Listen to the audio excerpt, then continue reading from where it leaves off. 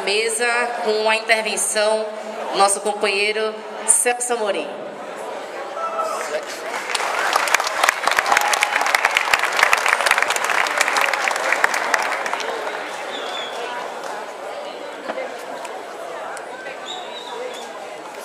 Companheiras e companheiros, bom dia. Lula livre! Lula livre! Marielle vive! Marielle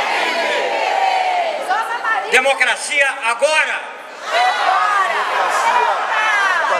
Queridos, queridas amigas, queridos amigos e companheiras e companheiros, para mim é uma grande honra estar sendo orador aqui, falando um pouquinho nesse evento tão importante é, em função da luta pela liberdade do Lula.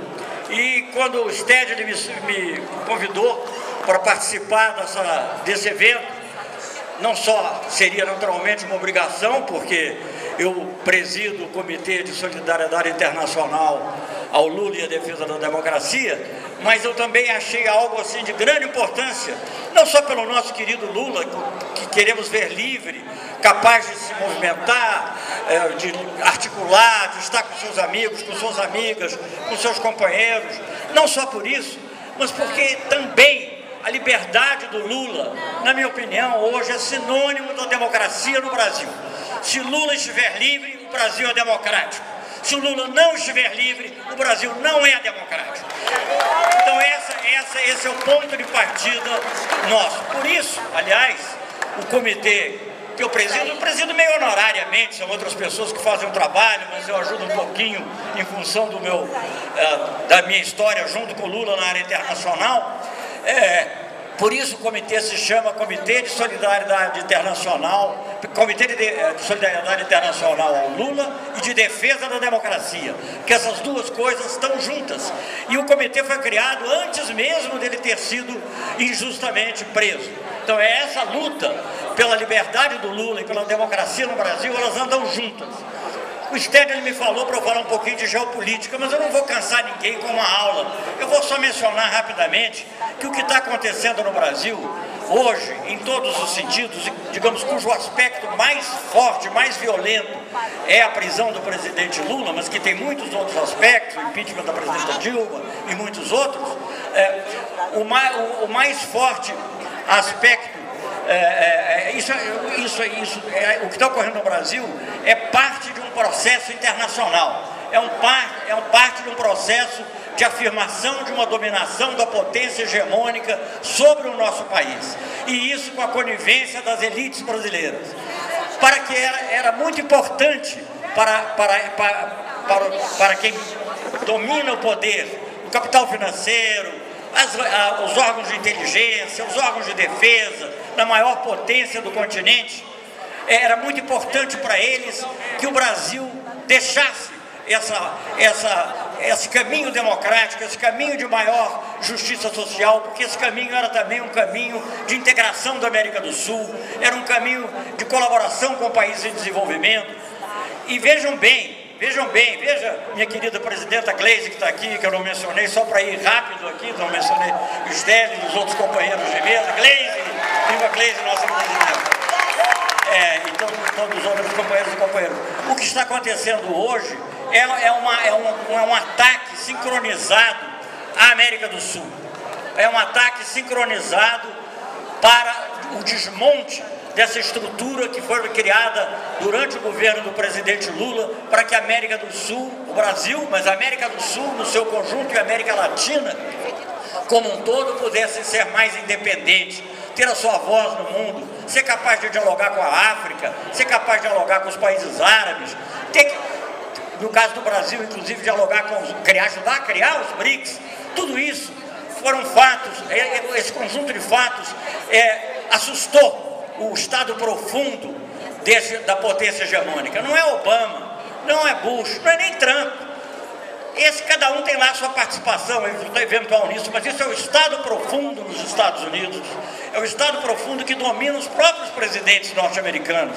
Quem viu filmes, leu livros sobre a década de 50, sobre 60, sobre a guerra do Vietnã, sabe que o próprio presidente dos Estados Unidos muitas vezes é prisioneiro desse Estado profundo. E esse Estado profundo, com a ajuda do judiciário, né, Valesca, com a ajuda, do, com a ajuda do, do, dos procuradores, e com a ajuda naturalmente da justiça brasileira, que agora é parte da justiça brasileira que está sendo desmoralizada pela própria justiça, nós temos que ver isso, setores tão importantes da justiça do Supremo dizerem que a Operação Lava Jato é uma operação irregular, é, e eu estou apenas repetindo palavras, né? Porque, aliás, não vou nem repetir não, porque senão é capaz de ser preso. Mas todo mundo pode ler as palavras do ministro Gilmar Mendes ali, fortíssimas, e ninguém vai acusar o Gilmar Mendes de ser esquerdista, de ser comunista, de ser socialista, como a gente ouve falar. Né? Nós estamos livrando o Brasil do socialismo, se ouviu falar. Quando é que o Brasil foi socialista?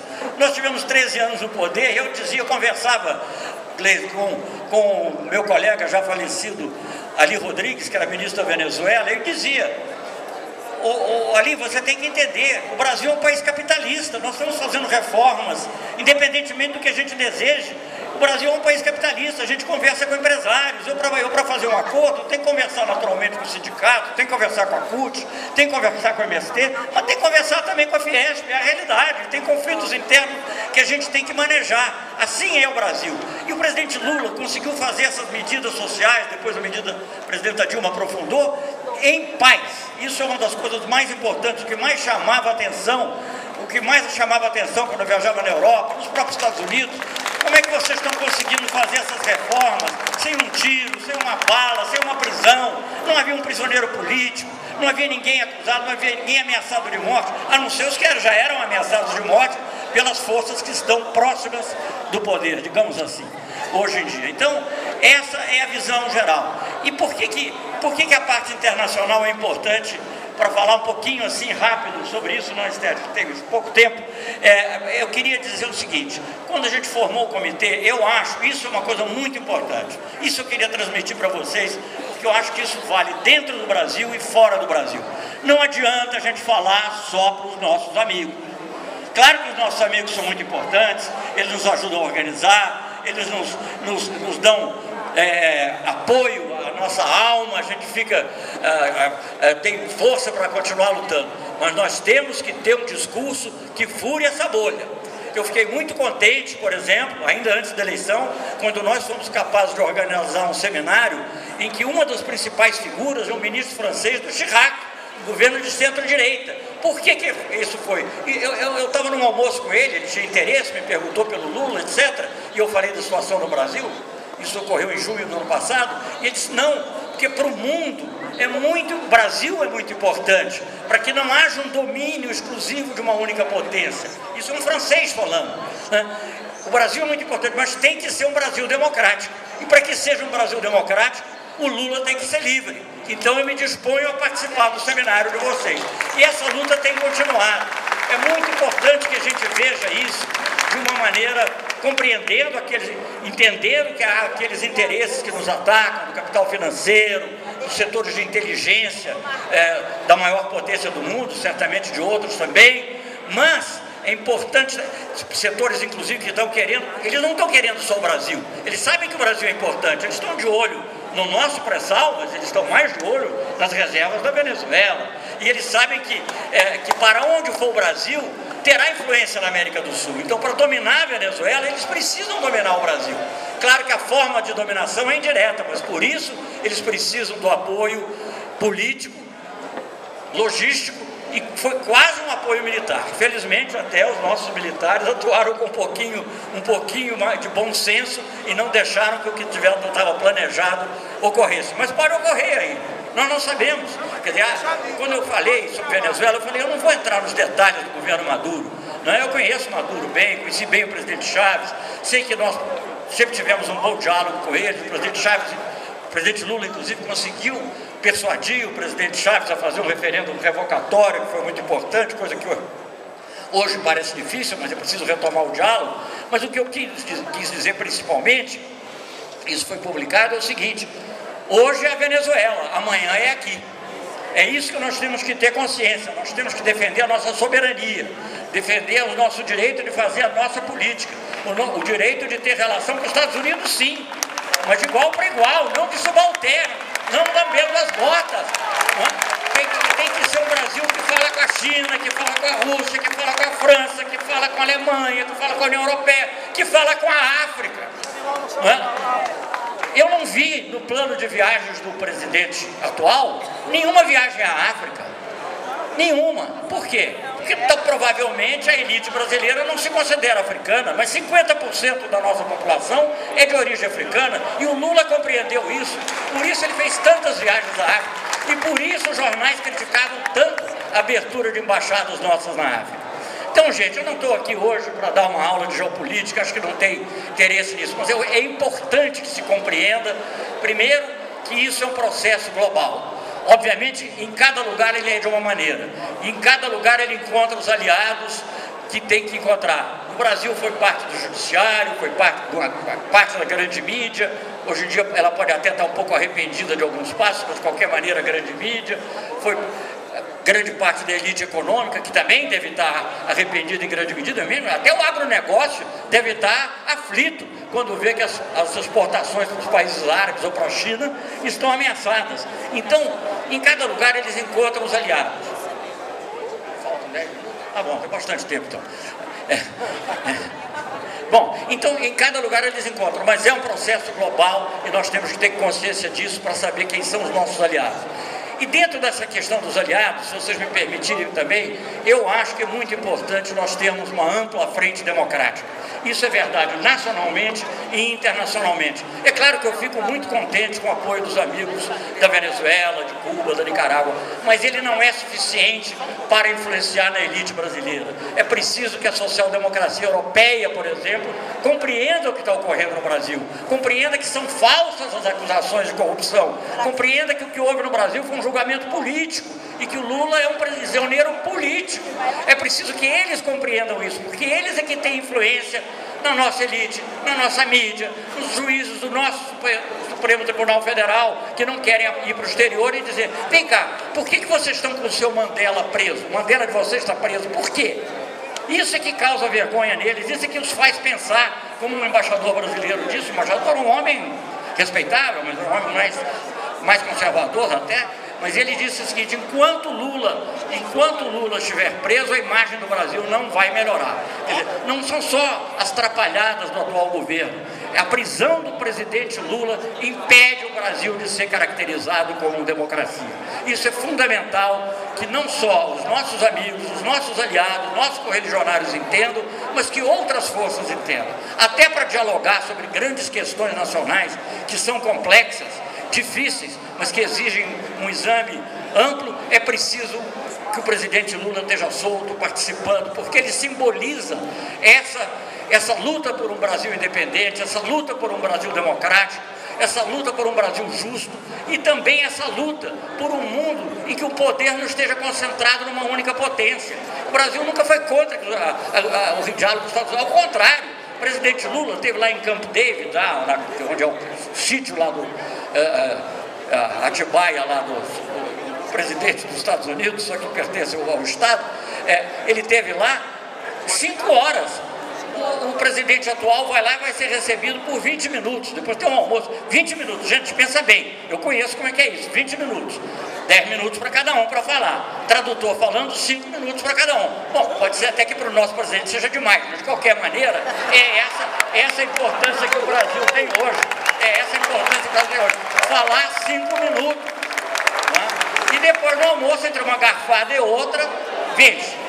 Para gente que já tem dificuldade, pode ser que seja no Twitch, alguma coisa, não sei. Isso eu não posso saber. Mas eu acho que certamente o próprio presidente dos Estados Unidos deve estar preocupado. E nós temos que estar preocupados, porque nós estamos vendo a nossa soberania ser alienada. A nossa Embraer sendo vendida para uma empresa que está ameaçada de falência agora por causa da queda dos aviões.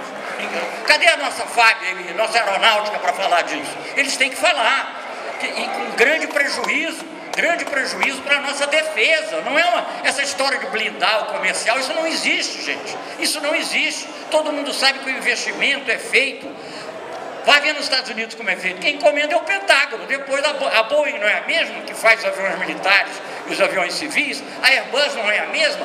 No Brasil vai ser diferente. A Embraer vai fazer avião militar e a Boeing vai fazer o avião civil. Gente, não, não, não, não se pode acreditar nisso. E é preciso discutir o nosso pré-sal sendo entregue, a, a, base de Alcântara, é, e não se sabe nessa conversa privada, mesmo sendo só cinco minutos, o que que o presidente, porque ele não vai ter os militares para botar um pouquinho de bom senso, apesar de tudo, na conversa. Né? E o que, que o presidente Trump vai pedir ao, ao, ao presidente brasileiro? Né? O que, que ele vai pedir? Vai pedir certamente mais apoio contra a Venezuela, mais ações desse tipo, mais destruição, como está ocorrendo da Unasul, dos nossos organismos. Quem sabe ele vai pedir também para ele ajudar a destruir os BRICS, né? para que o Brasil seja um cavalo de Troia dentro dos BRICS. Não sei. Mas se eu não sei, os chineses e os russos também não sabem e vão ficar preocupados. Quer dizer, o que está ocorrendo com o Brasil não é só a perda do capital físico, do capital humano, do capital tecnológico, é o capital de credibilidade que o Brasil construiu, que o presidente Lula desenvolveu muitíssimo, mas que veio sendo construído há 100 anos. Mesmo que sendo construído há 100 anos e que pode ser destruído num dia. Quando você oferece uma base para o país e no dia seguinte diz que não é, é algo que isso não é, isso não, não, não, constitui as relações internacionais. Alguns jornalistas dizem que nesse governo os recuos são melhores que os avanços. Estamos plenamente de acordo, mas é duro, isso afeta a credibilidade do país, o país não é sério. Ninguém sabe, ninguém viu esse acordo de Alcântara. Eu espero que ele tenha que ser submetido ao Congresso. Hein, presidente? É preciso que ele seja submetido ao Congresso. Não pode ter um, isso é um tratado internacional de uma importância enorme e, e disseram que mudou, etc., mas continua tendo grandes eu tenho grandes dúvidas, eu não vou entrar aqui em detalhes, mas eu continuo tendo grandes dúvidas, nunca não vi o texto atual, não posso dizer, mas eu me lembro que todas as tentativas que foram feitas, as condições que os americanos impunham, eram inaceitáveis, e eram condições que eles próprios não aceitavam, porque você quisesse reciprocidade, eles não davam, mesmo que fosse uma reciprocidade teórica, como agora na questão dos vistos, quer dizer, os norte-americanos são bons para entrar no Brasil, a priori, os brasileiros não são bons para entrar nos Estados Unidos. Isso não é possível. Eu não tenho nada contra isso. O princípio da reciprocidade é um princípio básico das relações internacionais. É igualdade. Quer dizer, você entra na minha casa, eu posso entrar na sua. Você vem comer na minha mesa, eu posso comer na sua.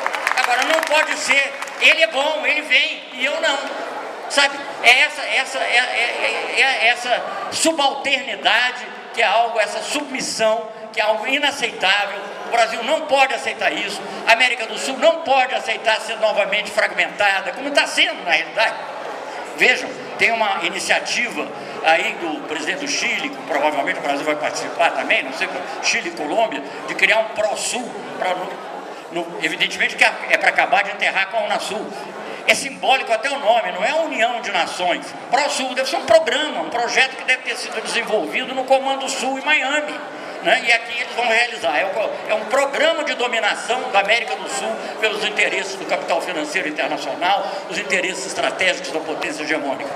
Muito bem, então eu queria dizer a vocês só o seguinte: nós continuamos, tenho três minutinhos aqui, ver se eu consigo terminar, falar um pouco do comitê. Eu não vou descrever as ações, porque à tarde vai haver uma sessão, que é o Jacobson vai coordenar uma sessão em que ele vai descrever vai poder discutir especificamente as ações do comitê, como é que ele trabalha, etc.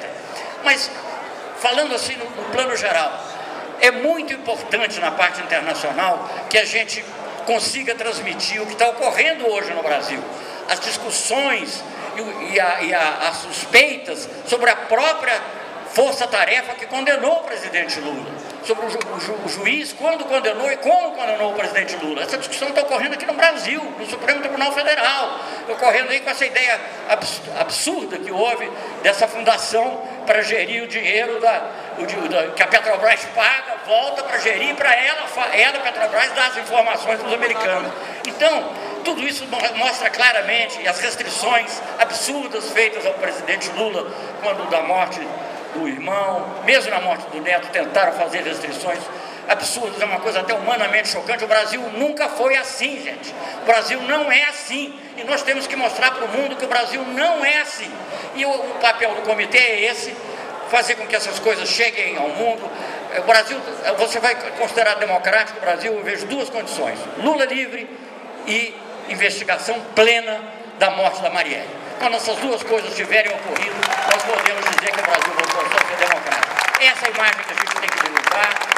A gente vê que crescentemente, ontem mesmo houve uma declaração do Parlamento da Catalunha, há três dias, dois ou três dias atrás, houve um prêmio, o mais importante prêmio da, da maior, a, maior organização sindical dos Estados Unidos, que é a EFL-CIO, a FNCIO.